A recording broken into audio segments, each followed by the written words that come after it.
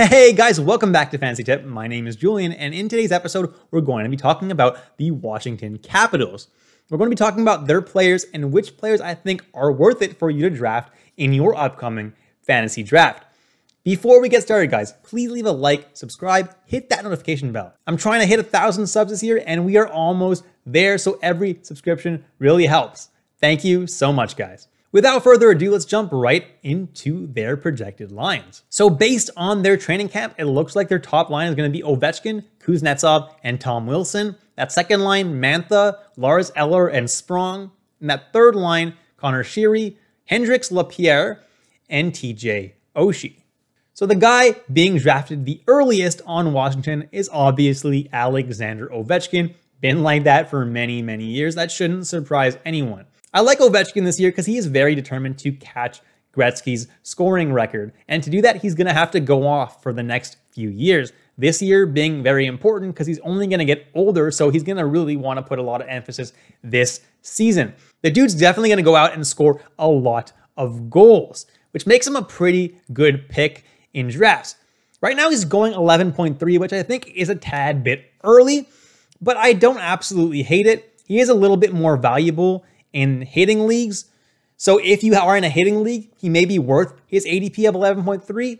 If you're not in a hitting league, I might wait a little bit more for him. But if you do decide to take him with your first round pick, not the worst decision in the world.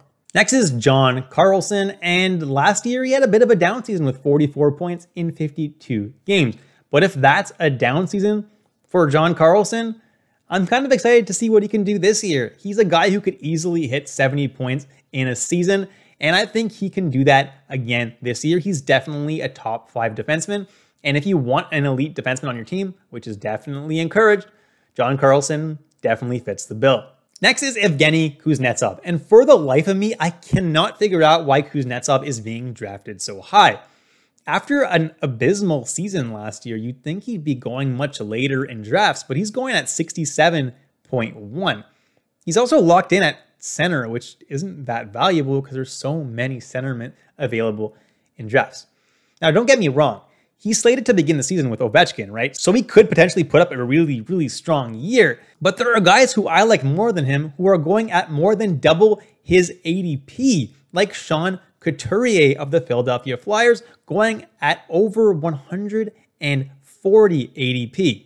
So if you're going to draft a center, I don't recommend drafting Evgeny Kuznetsov, not as early as he's gone. Next is Ilya Samsonov, and he's currently slated to share the goaltending duties with Vitek Vanecek. We have no idea what that split is going to look like. It could end up being 50-50, in which case drafting Samsonov at 71.9? Mm, not so great. I'm not sure what it's going to look like. I think Samsonov will get more starts. I think he's going to get something like 60%. But even then, 60% is not that much, and there are goaltenders being drafted later who are going to get a lot more starts. On top of that, Washington's division is super tough, so they may not get as many wins as a lot of people are expecting them to. I'm not crazy about Samsonov, but I don't necessarily hate it either since he should get the bulk of the starts for Washington, but he's not someone I'll personally be drafting. Next is TJ Oshie being drafted around 90.4, and I think that's too early for TJ Oshie. I have him around 90th best forward.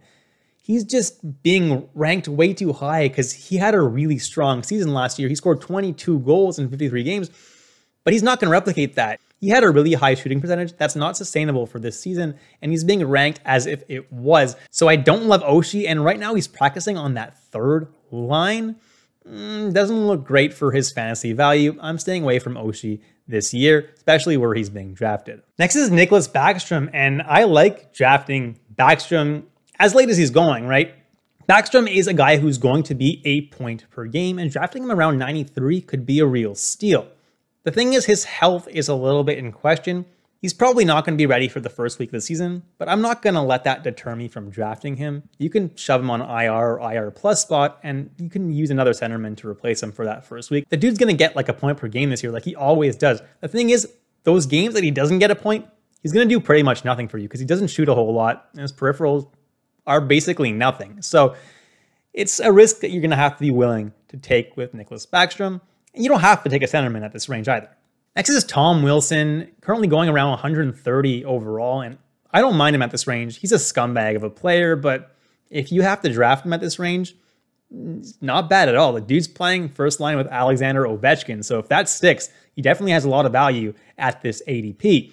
Also, if you're in a league that has penalty minutes, Tom Wilson becomes super, super valuable. Next is Anthony Mantha, and right now he's practicing on the second line with Eller and Sprong.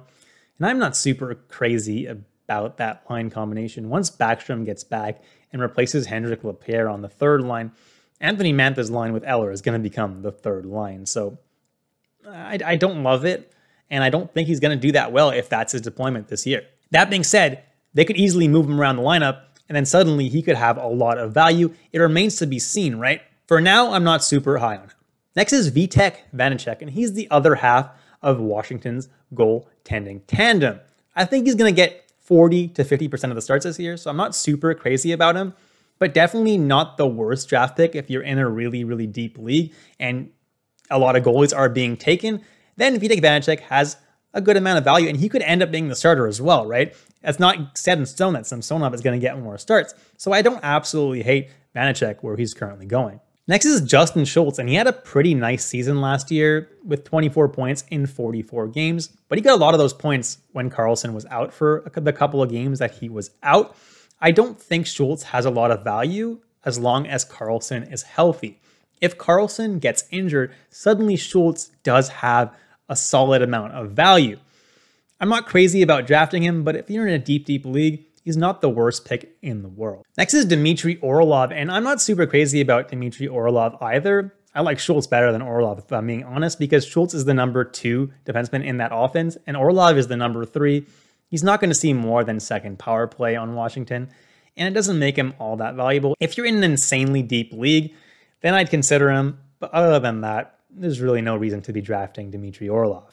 And last but not least, our rookies, Connor McMichael and Hendrik Lapierre. Right now, they're competing for that third line center spot, which is great, but Backstrom isn't going to miss that much time from what it seems like. So whoever wins that spot doesn't really have any kind of fantasy value. And even if Backstrom wasn't coming back soon, they're on the third line, so their value would be pretty limited anyway.